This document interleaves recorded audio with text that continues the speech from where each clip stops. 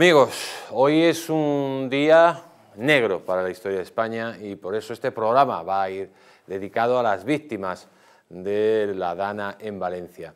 Eh, estamos a punto de llegar al centenar. Es una auténtica tragedia sin precedentes. Y es verdad lo que decía Sánchez, ¿qué coño tiene que ocurrir para que pises el fango y estés con los españoles? Mientras este estaba de fiesta haciendo el payaso por la India, las tierras de Valencia, las tierras del Levante fueron arrasadas por una dana que no fue avisada a tiempo a las personas, ni tampoco, amigos, a, pues, a las industrias, a los comercios, etc. Estoy hasta las narices de esto del cambio climático. Esto, Dana, ha pasado toda la vida. Ahora vienen los izquierdosos con la mentira, que si esto es el cambio climático, que hay que hacer más medidas WOC. No. Esto es una vergüenza, amigos, que esté muriendo la gente como ha muerto por la ineptitud de un gobierno y de sus políticas de destrucción de embalses, sus políticas de dejar las riberas de los ríos como Dios la destrajo al mundo, sus políticas de no hacer obras hidráulicas, sus políticas, amigos, que cuando viene la madre naturaleza y arrasa, pues arrasa los pueblos, porque como hay que dejarlo todo virgen, pues eso es lo que pasa.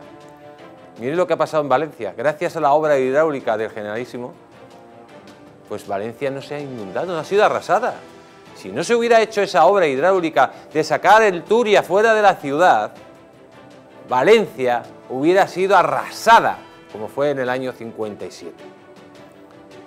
Uno le da rabia ver a tanta gente, a tanta gente sufriendo por la ineptitud de nuestras administraciones, por los inútiles que nos gobiernan, que son incapaces de lanzar un mensaje de alerta para que la gente por lo menos pueda estar en sus casas, para que a la gente no le pille todo esto en medio de la carretera. ¿Por qué no intervino la Guardia Civil y cortó las carreteras, señores? ¿Por qué no se dio un aviso a las industrias, a los comercios, a la gente en general? Esto es un país bananero, gobernado por un presidente bananero, inepto e inútil, que seguramente no dará ningún tipo de ayudas, hablará muchísimo para hacerse la foto, pero no hará absolutamente nada. Porque el señor Marlasca interior, ¿dónde estaba? Tapando la corrupción del caso Coldo. El señor Sánchez tapando la corrupción de su mujer. Cuando tenemos un gobierno, amigos, que está más pendiente de tapar la corrupción que de solucionar los problemas de los ciudadanos, es cuando pasa todo esto.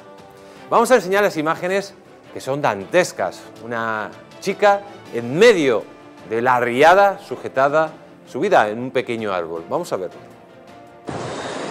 Estoy aquí, o sea, ahora mismo estoy metida en esta planta, que es lo que me está ayudando a cogerme, pero mirad, no hay nada, no hay nada a mi alrededor. Estoy como si estuviera en medio del mar. Y es que amigos, esto fue un auténtico, un auténtico drama porque ayer sacamos imágenes, no, pensábamos que iba a haber tantos muertos, ya se avisaba que iba a haber muertos, pero es que hubo tornados en Valencia. Y luego contaremos, porque es que el Valleter dijo que el radar estaba estropeado el día 25 de octubre.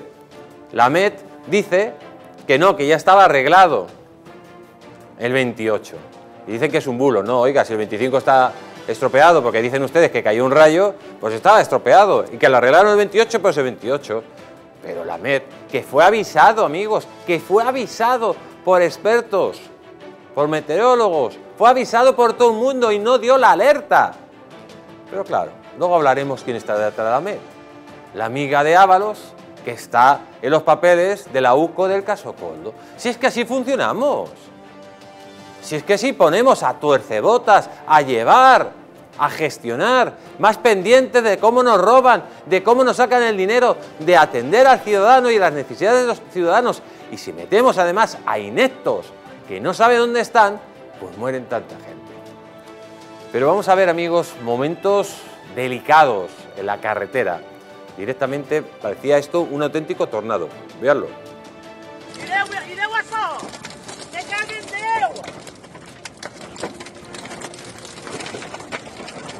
Hòstia, mireu, mireu! Mireu, un huracà, tio! Hòstia! Han volcat els camions! Un, va- un camió volcat! El cotxe d'ahir trencat el cristal! M'ha cagat amunt! Això és un huracà, Ireu! Ireu i ese agarrat, ha agarrat un cotxe. Eh, son imágenes que se le pone a uno los pelos como escarpas. Dejar abiertas las carreteras, las autopistas, con lo que estaba cayendo. No tener un plan operativo para cortar las carreteras, cortar el tráfico. Ante lo que venía. Esto es de aurora boreal, amigos. Es increíble. Pero las imágenes que vamos a mostrarles son ya imágenes del desastre total, del día después, de coches, de fango, de lo que le gusta a Sánchez, el fango, amigos, incluso de muertos que todavía no han sido retirados. Véanlo. Las personas están muertas. Y nadie viene a recogerlas, Nadie viene a ¿eh? recogerlas ni nada. Aquí habrán coches donde seguramente habrá gente o a lo mejor accidentada o también fallecida y nadie viene. Esto es de loco. Pues hayan visto, amigos, un señor muerto en un coche eh, y directamente hablan, hablan de que hay un bulo, que hay bulos. Ya, todo es bulo, esto es un bulo, esto es mentira. Es que al, al final los medios de comunicación, amigos, son de chiste, tapando todo lo que está pasando, que la gente lo está pasando muy mal en Valencia. Que la gente lo está pasando muy mal en Valencia, que la situación es muy crítica, que no podemos hacer como si no pasara nada, que esto se podía no evitar del todo, pero sí se podría haber evitado muchas muertes. Y es que, amigos, la Dana ha cortado también el agua en algunos pueblos. ¿Por qué? Porque las mismas tuberías del agua han reventado, se han roto, véanlo.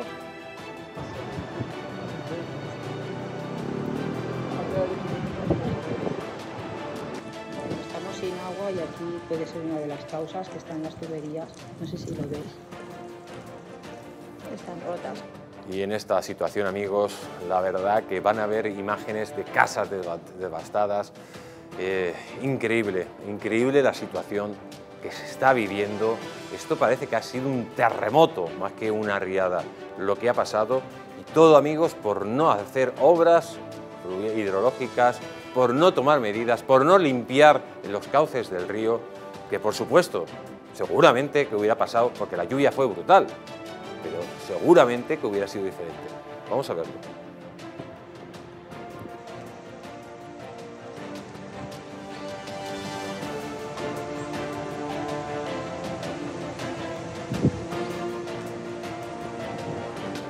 Y es que eh, la comunidad valenciana y Valencia principalmente es, parece un territorio en estado de guerra, por lo que estamos viendo en estos instantes.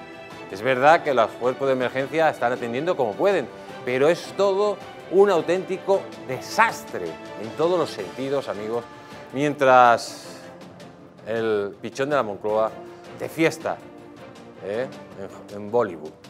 Pero vamos a ver estas imágenes de cómo les pilló a todos los conductores directamente, les pilla esta dana y estos son los resultados después de lo que pasó ayer.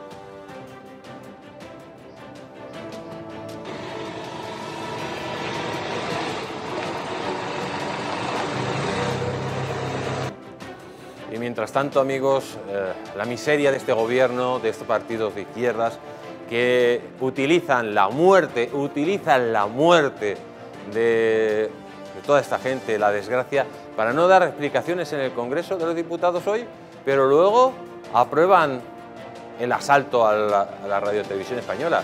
Por cierto, con una consejera que se dedica a lanzar bulos. Vamos a escuchar a, a Fijó condenando la situación del PSOE y lo que ha hecho. Estamos a disposición de todos los gobiernos de las comunidades autónomas afectadas. Le pido al gobierno que celebre inmediatamente un Consejo de Ministros que declare luto nacional y que este pleno no se celebre. Termino ya.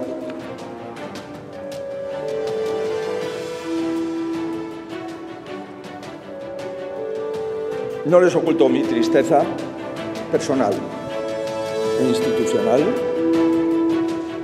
No les oculto el desasosiego que vengo sintiendo desde el día de ayer cuando hablo con mis compañeros y lo que están viendo y las imágenes dantescas.